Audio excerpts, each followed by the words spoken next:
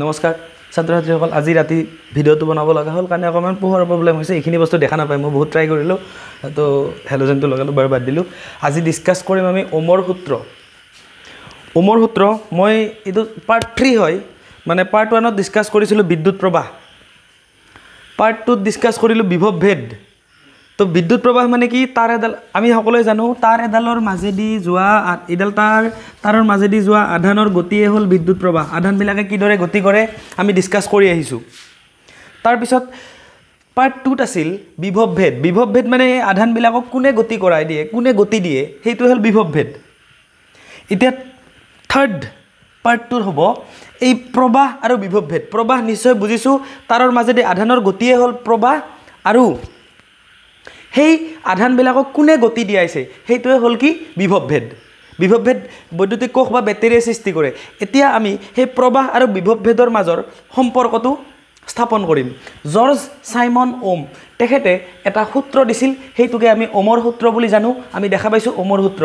আজি তাক আমি ভালকৈ ডিছ ডিছকাছ কৰিম।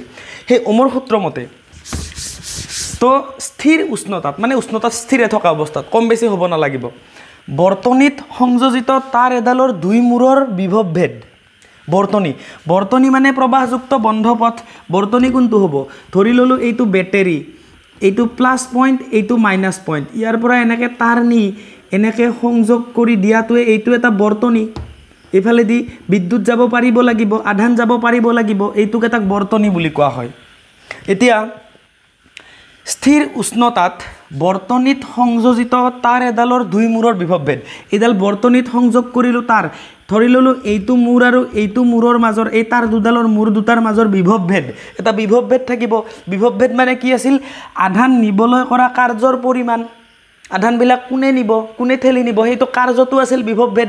আমি আগৰ ভিডিঅ'ত চাই আহিছোঁ। কোনোবা নতুন হ'লে আগৰ ভিডিঅ'বিলাক চালে হ'ল। বঢ়িয়াকৈ পাই যাব। তো ঠিক আছে।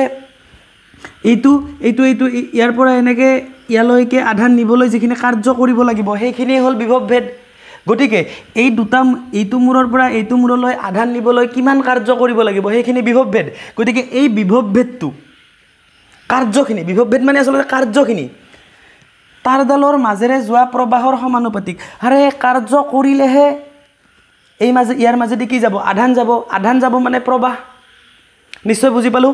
কথাটো কি? আৰু এবাৰ স্থিৰ উষ্ণতাত বৰ্তনীত সংযোজিত তাঁৰ এডালৰ দুই মূৰৰ বিভৱ ভেদ মাজেৰে যোৱা প্ৰবাহৰ সমানুপাতিক। এতিয়া এই সমানুপাতিক শব্দটোৰ অৰ্থ আমি বুজিব লাগিব। সমানুপাতিক কোন কোন সমানুপাতিক? বিভৱ ভেদ প্ৰবাহৰ সমানুপাতিক। আৰে বিভৱ ভেদ মানে কাৰ্য। আৰে ইয়াৰ পৰা ইয়ালৈ আধান নিবলৈ যদি বেছিকৈ কাৰ্য কৰে বেছিকৈ আধান যাব। ধৰি ল'লোঁ আমাৰ কেইটামান ইটা থোৱা আছে। এটা থুম কৰি আমাৰ ৰাস্তাত ইটা থৈ গৈছে। মই ইয়ালৈকে আনিব লাগে। আৰে মই যদি বেছিকৈ কাৰ্য কৰোঁ বেছিকৈ ইটা আহিব কমকৈ কাৰ্য কৰিলে কমকৈ ইটা আহিব নিশ্চয় বুজি পাইছা? গতিকে ইয়াৰ পৰা ইয়ালৈ আধান নিবলৈ বেছিকৈ কাৰ্য কৰিলে বেছিকৈ আধান যাব। আধান যাব মানে কি? সেইটো প্ৰবাহ। কাৰ্য কৰিব মানে কি? সেইটো বিভৱ ভেদ। সমানুপাতিক। সমানুপাতিক শব্দটোৰ অৰ্থ কি? দুটা বস্তুৰ যদি এটা বাঢ়িলে আনটোও বাঢ়ে তেতিয়াহ'লে সেইটোক সমানুপাতিক বুলি কয়। নিশ্চয় বুজি পাইছা? সমানুপাতিক এটা বাঢ়িলে আনটো বাঢ়িব লাগিব।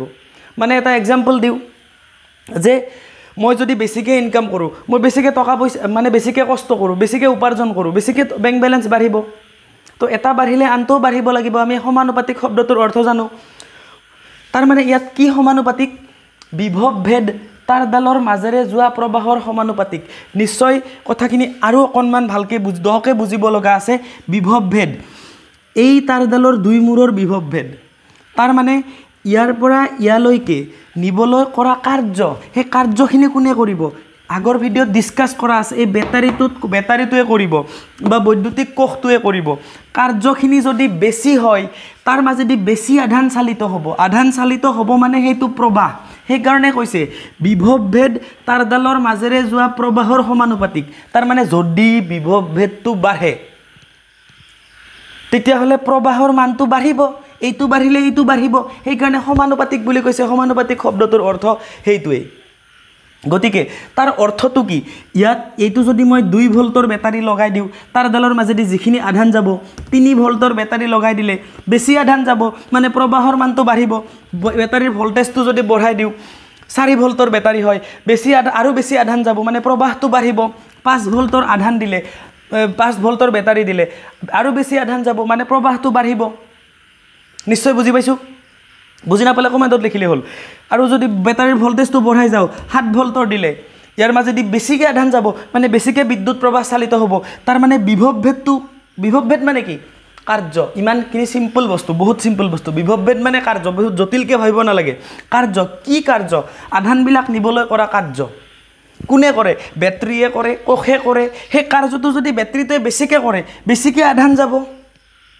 আধান যাব মানে কি? প্ৰবাহ। গতিকে বিভৱ ভেদ তাঁৰডালৰ মাজেৰে যোৱা প্ৰবাহৰ সমানুপাতিক। নিশ্চয় বুজি পাইছোঁ? এতিয়া তাৰ গাণিতিক প্ৰকাশ ৰাখি ৰাশিটো কি হ'ব? বিভৱ ভেদক আমি কি আখৰেৰে বুজাওঁ? ভি আখৰেৰে বুজাওঁ। ভি প্ৰবাহ প্ৰবাহক কি আখৰেৰে বুজাওঁ? আই। গতিকে V is proportional to I বিভৱভেদ প্ৰবাহৰ সমানুপাতিক এইডাল সমানুপাতিক চিন। গতিকে ইয়াক আমি যদি সমীকৰণৰ ৰূপত লিখিব লগা হয় তেতিয়া আমি ইকুৱেল দিব লাগিব। বা আমি ইয়াক এনেকৈ লিখিব পাৰোঁ V is equal to I R equal দিয়াৰ লগে লগে এই আৰটো এতিয়া আমি ভাবিলোঁ এই আৰটো কি বস্তু?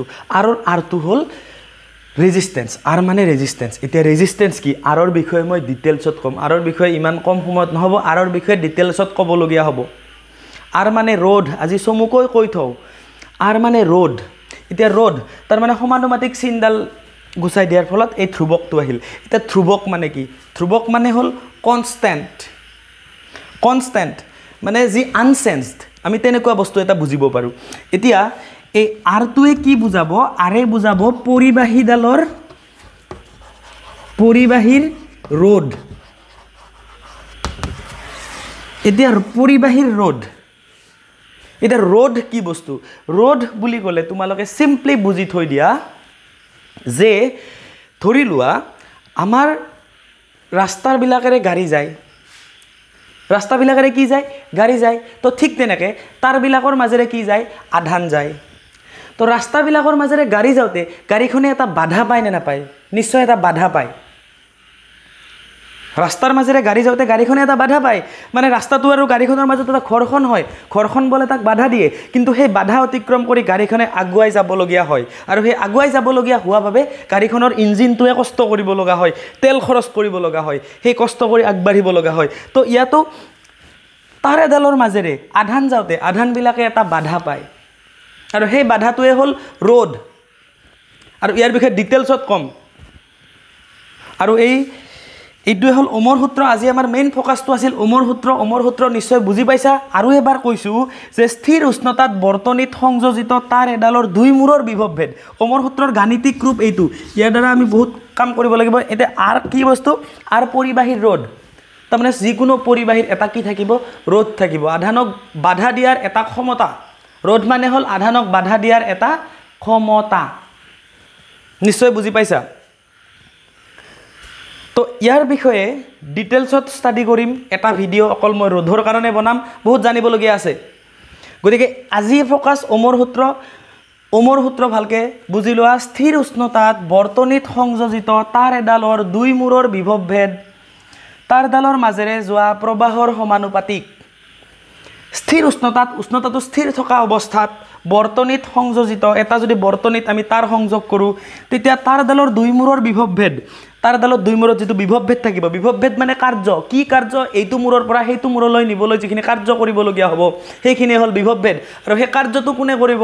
বেটেৰী বা বৈদ্যুতিক কোষে কৰিব। নিশ্চয় বুজি পাইছা? আৰু সেই কাৰ্যখিনি প্ৰবাহৰ সমানুপাতিক তাৰমানে বেছিকৈ কাৰ্য কৰিলে বেছিকৈ আধান যাব। আধান যাব মানে প্ৰবাহ। কাৰ্য কমকৈ কৰিলে কমকৈ আধান যাব। সেই কৈছিলোঁ নহয় মই ইটাকেইটা যদি সেই ৰাস্তাৰ পৰা আনিবলৈ মই কমকৈ কাৰ্য কৰোঁ কমকৈ ইটা আহিব। বেছিকৈ কাৰ্য কৰিলে বেছিকৈ কৰিলে বেছিকৈ ইটা আহিব। ঠিক তেনেকৈ বেটেৰীটোৱে যদি কমকৈ কাৰ্য কৰে কমকৈ আধান যাব। কমকৈ প্ৰবাহ হ'ব। আধান যাব মানে প্ৰবাহ হ'ব। যদি বেছিকৈ কাৰ্য কৰে বেছিকৈ আধান যাব। আধান যাব মানে প্ৰবাহ। গতিকে নিশ্চয় বুজি পাইছা? নমস্কাৰ। চেনেলটো ছাবস্ক্ৰাইব কৰিবা।